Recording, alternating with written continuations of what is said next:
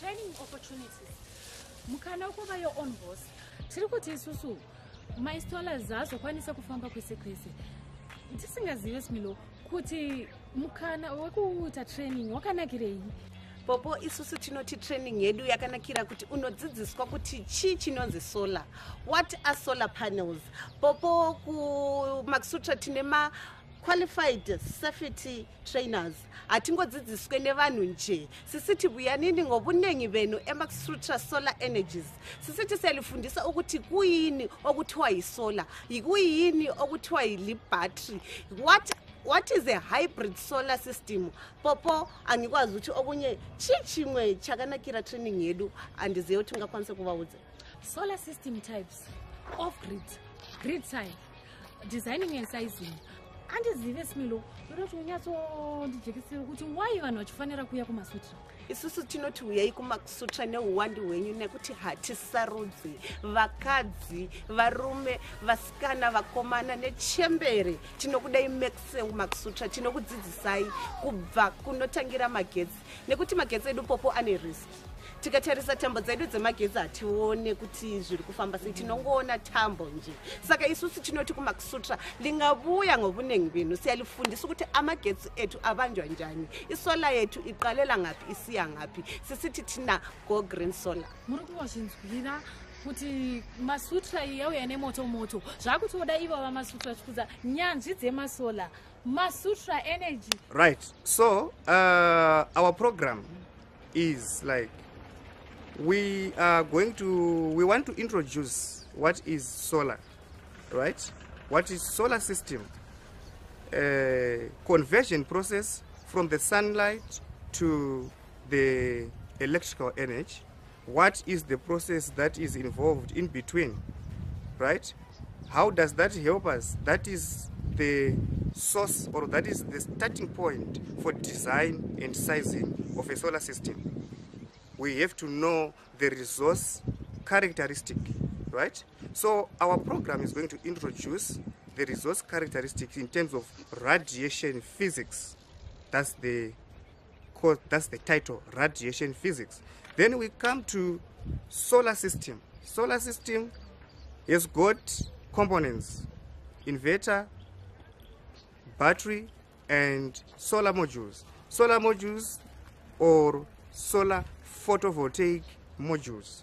So those have got um, characteristics that have to be explored to make sure that um, when you are choosing the battery, which battery do you choose for what for what size of the system, for uh, for keeping how much energy, and for use where in terms of temperature, in terms of a lot of things. So we are going to introduce a solar system in terms of solar modules, inverter, hybrid, uh, off-grid tie, off-grid, uh, off-grid systems, grid tie systems, net metering, and so forth.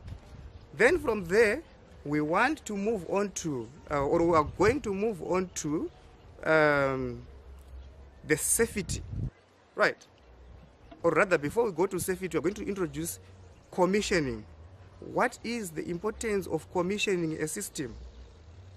When you've done everything, you've installed, you've done everything, what is commissioning? What does it involve? What is the importance of commissioning? Then from there, we are going to, or we want to, uh, have our students and our candidates understand um, what is called energy audit and energy management system because what is involved in energy management what is energy audit why do we need that when we are dealing with solar systems and um, energy systems then we are also going to introduce a very important aspect um, of everything now, which is safety. Safety. Safety involves the knowledge of power flow movement now. Power flow movement.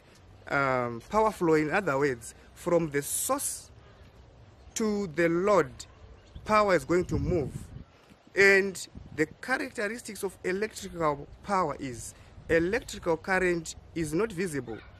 Therefore, there must be a way of, or there are fundamentals and steps to be followed for safety to be adhered to. And the reason being, a life lost cannot be recovered.